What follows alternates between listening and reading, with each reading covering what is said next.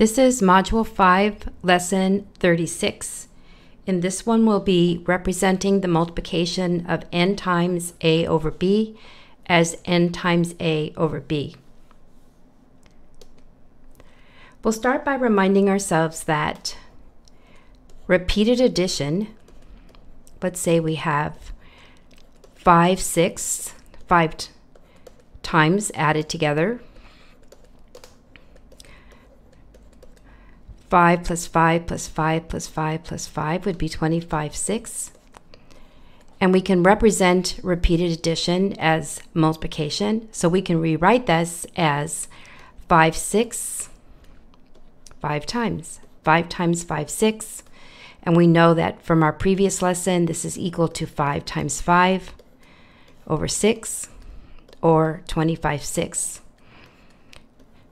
And we know that when we have a fraction like this that's greater than 1, we need to decompose it into a mixed number. So 6 6 is equal to 1, and I can make 4 of those because 6 times 4 is 24. So I have 25 6, so I can make four ones with one 6 left over. Let's look at another problem. Let's take 6 times 3 eighths, which we know is 6 times 3 divided by 8. When we multiply 6 times 3, we get 18 eighths. And again, 8 eighths is 1. Another 8 eighths is 2. So if I've made two wholes, I've used 16 of the 18 eighths leaving me with two eighths, and I could simplify that to 2 and 1 fourth. Now let's use these to solve a real world problem. Here's the problem. The serving size for cereal is 2 thirds of a cup. Each of 27 students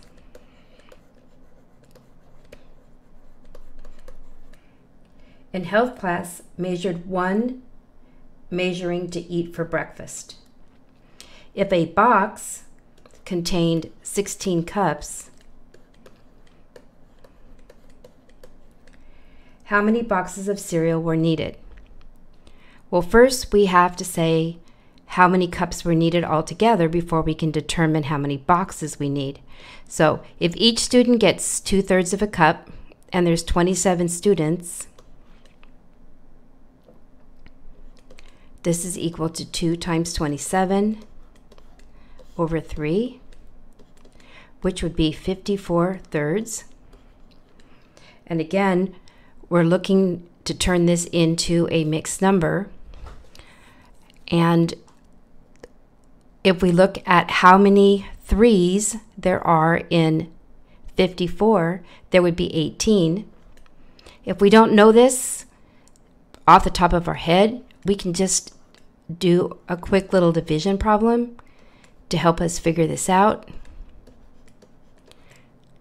Okay, and we see that 18 times 3, so 54 thirds would be equal to 18 cups. One box has 16 cups, but because we need 18 cups, we would need two boxes.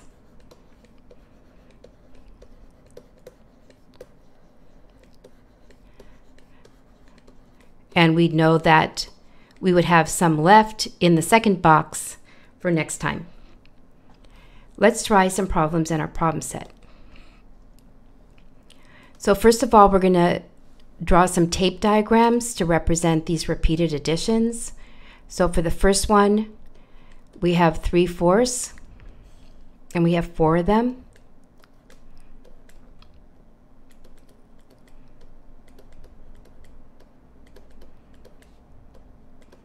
And so if we add 3 plus 3 plus 3 plus 3, this would be equal to 12 fourths or 3. You try number 2.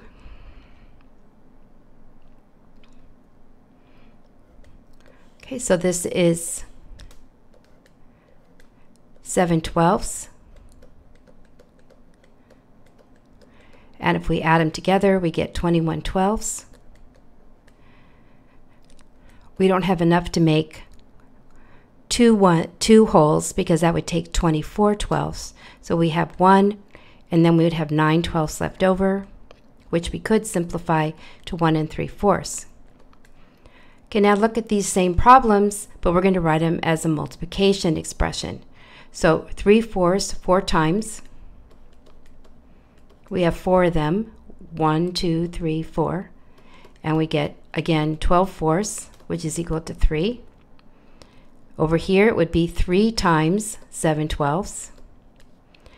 3 times 7 would be 21. 21 twelfths would be 1 and 3 fourths. Okay, for number 3, we're going to rewrite each repeated problem, repeated addition problem as a multiplication problem, and then write the results as a mixed number. So the first one's been started. First as repeated addition, then 4 times 7 fifths, and then 4 times 7 over 5, which would be 28 fifths. So if we go by multiples of 5, 5 uh, 1 times 5 is 5, 2 times 5 is 10, 3 times 5 is 15, 4 times 5 is 20, 5 times 5 is 25. 6 times 5 is 30. I don't I can't go to 6 because I only have 28. So I'm going to have to stop at 5 wholes, which would be 5 fifths 5 times. So I would use 25 of the fifths with 3 left over. Okay, you try B. Okay, we've added together 9 tenths three times, which would be 3 times 9 over 10, which would be 27 tenths. We could pull out two wholes with 7 tenths left over. Try C. Here we have 5 times 11 twelfths, or 5 times 11 twelfths, which is 55 twelfths. And again, looking at multiples of, of 12, we could do 12 times 1 is 12, 12 times 2 is 24, 12 times 3 is 36, 12 times 4 is 48, 12 times 5 is 60, so we can't go to 5. We don't have enough. We'll have to stop at 4 wholes. If I have four wholes, I would have used 48 twelfths. So what I would have left is 7 twelfths.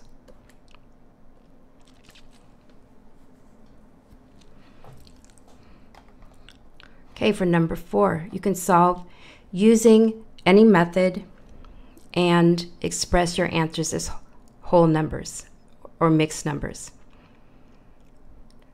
Okay, try A.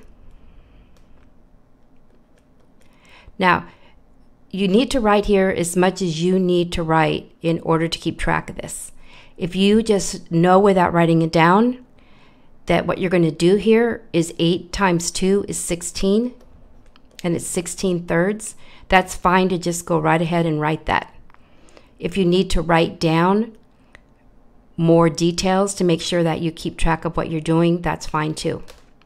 So we're looking at thirds, and we can get five wholes out of 16 because 5 times 3 is 15, so I'm going to use 15 thirds to make 5, and then I would have 1 third left over. Try B. Okay, so for B, what we're doing is 12 times 3 over 4, which would be 36 fourths. And since 9 times 4 is 36, our whole number would be 9 with no fractional part. Try C. 50 times 4 would be 200. 200 fifths would be 40, since 40 times 5 would be 200. Try D. So we'd have 26 times 7 over 8. Most people are not going to just know what 26 times 7 is. So do a little multiplication problem. 6 times 7 is 42. 2 times 4, 2 times 7 is 14, plus 4 is 18. So we'd get 182 eighths, eighths. And again, probably you can't figure out how many eights there are in 182. So just do a little quick division problem here. And there would be two groups of eight in 18 leaving me with two.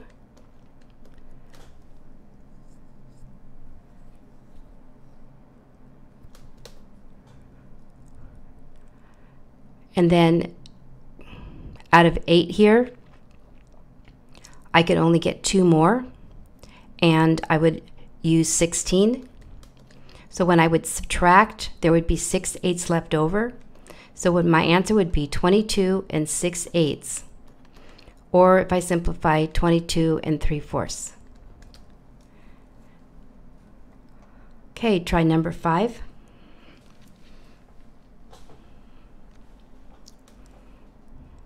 So Megan poured 9 tenths of a liters of punch into six bottles. How many liters of punch did she pour in all? So I'm going to do 9 tenths six times. So 9 times 6 is 54. 54 tenths. If I divide, I could get 5 wholes. 5 times 10 is 50 with 4 tenths left over. Or 5 and 2 fifths. And remember, word problems we always have to answer in a complete sentence. She poured 5 and 2 thirds liters of punch. Okay, try number six. Okay, recipe calls for three-fourths of a cup of rice. And how many cups are needed to make the recipe four times? So we're going to, 14 times, I'm sorry. So we're going to do 3 times 14 over 4. And again, if you need to, do that little multiplication. 14 times 3 is 42. So 42 fourths. We can make 10 wholes from then. 10 times 4 would use 40 fourths with 2 fourths left over, which we know is 10 and a half. So um, we would need 10 and 1 half cups. Remember, we're to always, always include the units of rice. And finally, try number 7.